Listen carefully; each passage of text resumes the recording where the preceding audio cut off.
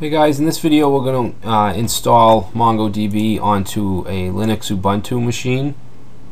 Alright, and it's, it's a little bit trickier than installing it through Windows, um, but if you have experience with Linux it shouldn't be an issue. Uh, so the first thing I'm going to do is I'm going to create a bash script that we can run. Alright, so I'm going to create that in my home folder and let's see, we want to create a new document and uh, we're going to call this mongo underscore install dot bash. Alright so let's um I'm actually going to open that from within my terminal so that we have the we can use sudo. Um, so let's see we're, we're in the home directory now so we just need to uh, I'm just going to say sudo. I'm going to use the nano text editor but you can use whatever you want.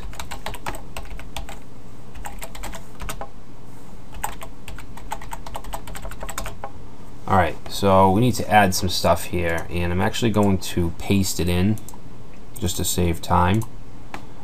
Alright, so basically this first line, um, the apt key, it call it call registers the public key of the custom uh, MongoDB aptitude repository from 10gen, which is the company that created MongoDB.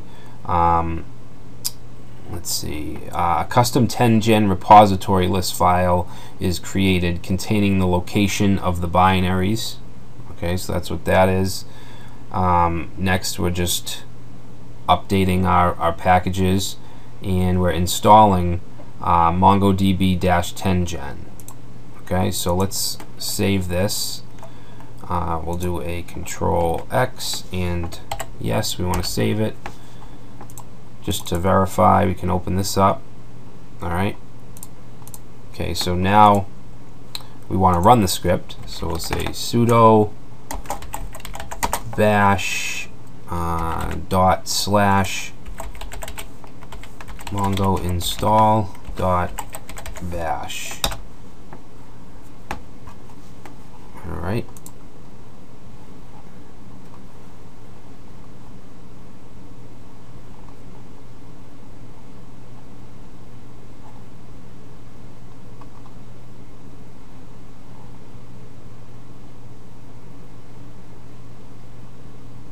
Alright, so I'm going to pause this until this is done. It might take a minute or two. Alright, so that installed. Now the default directories um, are in the, let's see, we'll go to the, the file system in the var directory and then lib. We should have a Mongo folder, alright, MongoDB. And this is basically going to be the data folder for Mongo. Um, we should also have a log file, a log folder, and that's in var log MongoDB. Alright. So that's our log folder.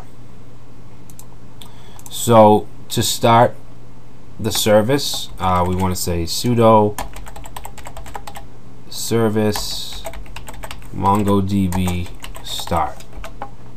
Alright, so it says it's already running, which is good. So all we should need to do to get in is type in Mongo and we're in. Say show DBs. All right, so that's it. Um, like I said, a, it was a little more tricky than um, Windows, just because you have to deal with uh, package package managers. Um, but basically, we're at the same point now as we were in the Windows system. All right, so that's it for Ubuntu. I just wanted to make sure I, I, I had both installation um, videos.